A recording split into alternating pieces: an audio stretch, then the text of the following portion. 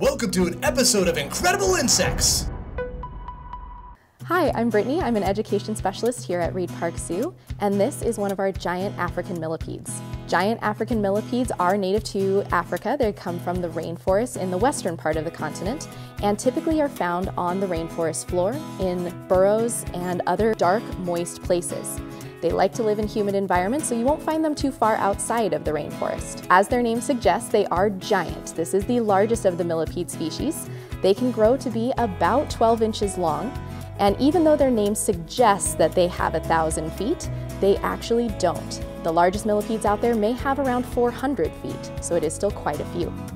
They are not a true insect because they have more body segments than an insect does, and they have very simple eyes instead of compound eyes. So millipedes rely pretty heavily on their antennae in order to navigate. Just like insects though, they are incredibly important parts of their ecosystem because they are a building block for everything else. Millipedes in particular are the ones that are kind of responsible for helping keep the rainforest soil healthy. All of the food that they eat is very nutrient rich because they are eating the decaying leaf matter and anything that hits the rainforest floor.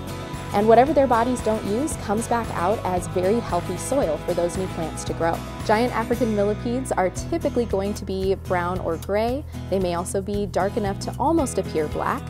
They are a very rounded arthropod, so their bodies are not flat like some of the centipedes that we might be more familiar with. Millipedes are also not venomous as centipedes are, but they do have a pretty cool adaptation for being able to protect themselves. This is not an animal that can really fight back, so instead their bodies produce a special fluid called repugnatorial fluid that they can secrete from the spiracles on the sides of their body. This fluid is very bitter and usually has a pretty strong smell. So predators are going to want to avoid eating that animal in order to keep themselves a little bit safer. Millipedes are considered to be a species of least concern, so they are still doing quite well in their rainforest homes, but it is important, as with all rainforest species, for us to be mindful of where some of our paper products come from.